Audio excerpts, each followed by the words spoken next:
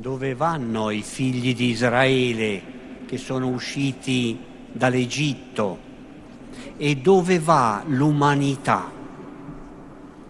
Vanno errando nella regione, il deserto li ha bloccati, dice il libro dell'Esodo che abbiamo ascoltato in questa veglia camminano e camminano, si stancano e si ingegnano per sopravvivere, ma non vanno da nessuna parte, vanno errando nella regione. Sono usciti dalla terra d'Egitto a mano alzata, fieri d'essere liberati dalla schiavitù di Faraone, ma ci sono momenti in cui la libertà è diventata più insopportabile della schiavitù. E si continua a scrivere la storia di uomini e donne di ogni tempo, chiamati da una promessa, si sono smarriti in un deserto in cui si sentono abbandonati, dove non c'è più alcun segno che indichi la direzione verso la terra promessa. Perciò attraversano le prove della fede. Ma ci si può veramente fidare delle promesse di Dio? Non sono forse più rassicuranti gli idoli costruiti dalle nostre stesse mani? Perciò provano risentimento verso Mosè e verso gli inviati e gli angeli di Dio che si sono fatti voce delle promesse di Dio, perciò hanno crocifisso Gesù di Nazareth, uomo accreditato da Dio presso di voi per mezzo di miracoli, prodigi e segni, perché il regno che Gesù annunciava non corrispondeva in nulla al trionfo mondano che si aspettavano, bloccati nel deserto. Il popolo non sa dove andare e Faraone, il nemico del bene, già pregusta la vendetta che riporta gli schiavi fuggiti in schiavitù. Ma noi celebriamo questa sera il grande terremoto che ha scosso tutta la terra, là dove la vita sembra inghiottita dalla morte, là dove la promessa alla quale Abramo si è affidata, sem- si è affidato, sembra contraddetta dalla richiesta del sacrificio del figlio Isacco, là dove il nemico invincibile incalza alle spalle e ogni via di fuga è impedita dalle acque del mare, là Dio apre la strada.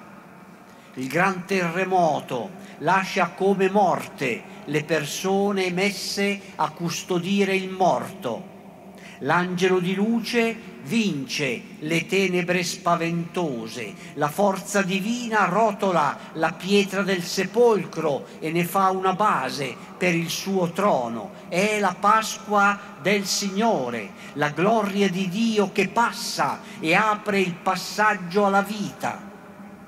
Tutta la grande veglia è la celebrazione del passare, della Pasqua il passare di Dio che apre la via impensabile verso la terra promessa. Celebriamo perciò la Pasqua accogliendo l'annuncio che ci chiama a compiere il nostro passaggio. I catecumeni compiono il grande definitivo passaggio qui insieme con noi e in altre chiese della nostra terra, i catecumeni nell'acqua del battesimo compiono quel segno del passaggio del Mar Rosso cantato da Mosè e dagli israeliti che avevano camminato sull'asciutto in mezzo al mare. E perciò i catecumeni insieme con tutta la Chiesa rinnovano il cantico di Mosè. Voglio cantare al Signore perché ha mirabilmente trionfato. Ciascuno di questi catecumeni come mi hanno raccontato qualche giorno fa. Ciascuno di loro compie questa notte l'iniziazione cristiana, ciascuno ha la sua storia, perché non sono infanti, ma uomini e donne che con libertà e consapevolezza interpretano così la loro storia, come un cammino che entra in una svolta decisiva. Hanno una storia da raccontare, talora drammatica come un esodo, talora entusiasmante come la scoperta di un amore, talora rassicurante come la promessa di appartenere al popolo santo di Dio la gioia dei catecumeni è diventata la gioia di coloro che li hanno accompagnati e la gioia delle comunità cristiane in cui sono stati accolti. Dobbiamo chiedervi, carissimi fratelli e sorelle, che voi siate come angeli, che con la veste bianca come neve possiate rinnovare la gioia del popolo cristiano. Il battesimo e l'introduzione ai sacramenti della vita cristiana siano per voi gioia, siano per voi missione per diffondere la gioia. La vostra vita cambia non per un vestito che si indossa, ma per un'appartenenza che determina il tempo, lo spazio, le scelte non tornate alla vita di prima, siate uomini e donne rinnovati dalla grazia. Per voi è il grande passaggio, per voi è Pasqua. E noi tutti, cristiani peccatori, compiamo il passaggio dalla condizione di peccato alla gioia del perdono e della riconciliazione, secondo la parola del profeta. Su, venite, discutiamo, dice il Signore, anche se i vostri peccati fossero come scarlatto, diventeranno bianchi come neve. Se fossero rossi come porpora, diventeranno come lana. Se sarete docili e ascolterete, mangerete i frutti della terra. Celebriamo la Pasqua, il passaggio del Signore, la sua glorificazione. Noi celebriamo la Pasqua non perché siamo perfetti, ma perché abbiamo bisogno del perdono e della riconciliazione. E dunque lasciatevi riconciliare con Dio.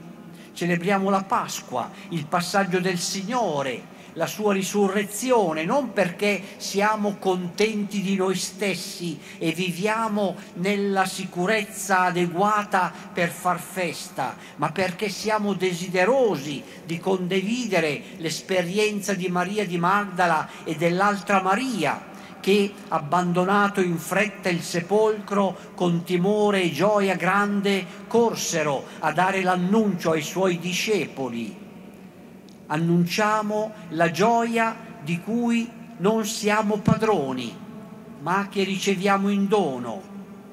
Annunciamo la promessa che abbiamo ricevuto dall'ascolto del Signore. Non torniamo alla vita di prima. Questa Pasqua sia un passaggio per ciascuno di noi, come i catecumeni si introducono con il battesimo nella comunità cristiana, così noi tutti, battezzati da tempo, decidiamoci a trasformare la nostra vita. Non torniamo a casa stasera come siamo usciti di casa. Decidiamoci a presentarci al Signore, a chiedere perdono, a cominciare una vita rinnovata, a rinnovare la grazia del nostro battesimo. E l'umanità, l'umanità intera sia pronta sia desiderosa di compiere il grande passaggio che è il dono di Pasqua, il passaggio del Signore verso la pace. Secondo l'augurio di Paolo ai Romani, a tutti quelli che sono a Roma, amati da Dio e santi per chiamata, grazia a voi e pace da Dio, Padre del Signore nostro Gesù Cristo. E vorremmo che questo messaggio di pace raggiunga tutti i posti della terra, tutti i paesi, soprattutto là dove sono in atto queste guerre dissennate che distruggono l'umanità e l'ambiente in cui viviamo. Pace ci sia nei popoli. Chiediamo che questa Pasqua, il passaggio del Signore, segni un passaggio verso un'umanità riconciliata.